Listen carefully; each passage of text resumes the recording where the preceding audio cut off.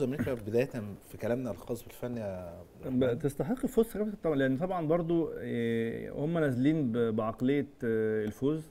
طبعا هم ما عندهمش حل يعني فده منطقي جدا. صحيح. آه، ضغطوا برضو فكرة إن كيروش كالعادة برضو هو رد الفعل. مش هقول لك ده غلط وصح هي مدارس في الأول وفي الآخر بس هو بيلعب على الصفر صفر من الأول. مفيش يعني 45 دقيقة كاملة آه، دفاع بحت فعلا فعلا هو بيلعب على الصفر صفر فطبعا نسبه الاستحواذ آه، كانت في الشوط الأولاني أمريكا تقريبا أمريكا. واخدة آه. نسبة كبيرة جدا بعدين كابتن لما تشوف الشوط الثاني.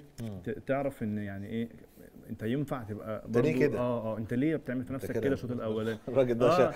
كده كانت الرضا كان بص عايز أقول لك حاجة. لا هو دايما طريقته بيسيب الاستحواذ يعني للفرقة اللي قدام هي مشكلة يا آه. كابتن إن يعني عنده حق يعني. مع مع مع إن إحنا كنا سعداء جدا بالشكل الفني اللي ظهروا بيه في الماتش اللي فات. في ماتش ويلز. آه. بالظبط. ولا فعلا فعلا ماتش ويلز كان عندهم هو كمان كابتن البحث عن عن التعادل برضو طريقته أنا بكلمك أنا كل ماتش بماتشه يعني ماتش ويلز إحنا قلنا هنا ان هو عمل مباراة كبيرة. حلو طبعا. ماتش انجلترا أنا ممكن التمس بعض العذر أقول مثلا إن هو كان عايز يطلع يعني وفتحت منه ممكن مم. أقول برضه.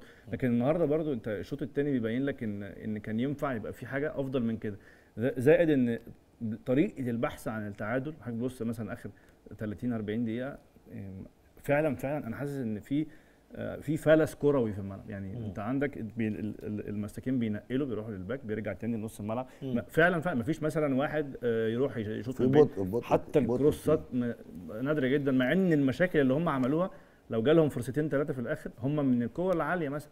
مم. حتى دي ما حصلتش. فتحس إن الماتش لو كان حتى كمل كتير كان صعب إيران تسجل. مع إن أمريكا استسلمت هم تماما. وصلوا بفرص. وصلوا بفرص وكان ده في كورة كانت تبقى ضربة جزاء في الدقيقة 98 مم. والحكم بس الفار أكد له إن ما فيهاش حاجة. يعني هي فيها تلامس بس مش لل- زي ما الحكام بيقولوا ما يرتقيش لل ضربه الجزاء. آه. آه بالظبط. فطبعا هم أمريكا تستحق الفوز وإن كانت يعني ما عملتش يعني مباريات آه، رائعة يعني بس النهارده هي الطرف اللي يعني عمل الحاجة اللي تكسبه يعني. ما عملش مباراة كبيرة جاب الجول اللي. عايزه وقدر إن هو يطلع بالماتش بالظبط زائد. كمان يا كابتن خلي بالك إنه. ماتش مثلا زي ده اللي هو بيحدد ال- المتأهل طبيعي إن تبقى الأمور فيه متوترة يعني. طبيعي جدا إن تيجي في وقت لازم ماتش زي ده يبقى فيه برضه الماتش مفتوح وإنك حتى كمنتخب لو أنت هو ده اللي حصل في الشوط لا الثاني. هو خلي بالك إيران ما هو بقى أنت سبت ده- شوط بحاله بقى شوط، 45 دقيقة ما- أنت برضه ده شوط تقدر كنت تعمل فيه حاجات كتير وتريح نفسك بالظبط. فدي برضه نقطة وبعدين الفرقة وهي بتهاجمك بيخطأ الفرقة وهي. بتهاجمك مم. ممكن تديك مساحة إنك تعمل هجمة لا مرتده كده لكن أنت دي. استنيت لغاية ما هم سجلوا مم. آه، اللي حضرتك بتقوله فعلا صح إنه المفروض إن مب- ماتش النهارده يعني يبقى مفتوح أكتر من كده آه، لكن أنا بقول لحضرتك إيه إنه مثلا لما أمريكا سجلت الخوف على على التأهل ممكن تبقى حاجة يعني لا إرادية. أنا أظن إن مش مش ما كانتش دي البلان بتاعتهم إن هم يبقى تراجعوا. أصل في الآخر هم بيدافعوا من ثلث الملعب بالمهاجمين بكل الناس تحت الكورة ما فيش أي شكل للمرتدات حتى.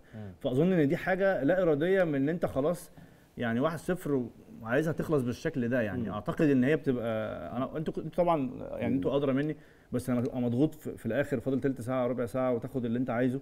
ممكن أحيانا دي ما بتبقاش مدرب قد ما هي بتبقى الظروف جوه الملعب خلاص واللعيبة لا خلي بالك. كمان هو. كمان مدرب أمريكا ممكن يكون عا- عارف هو عاوز إيه من الماتش وده اللي حققه لما جاب الهدف ابتدى يحافظ يا فاروق قال لك ان أنا بخصوص وزود مدافع، بخصوص وزود مدافع اللي. تحت الكوره كله. أنا شايف إن كل المنتخبات بتعمل كده يعني حتى لو بتهاجم بشكل لكن ده بقى سيستم موجود إن لازم تبقى أنت موجود في تلت ملعبك آخر واحد اللي هو الفيرود يعني اللي هو آه، على الدايرة مثلا آه آه بالكتير آه o outro é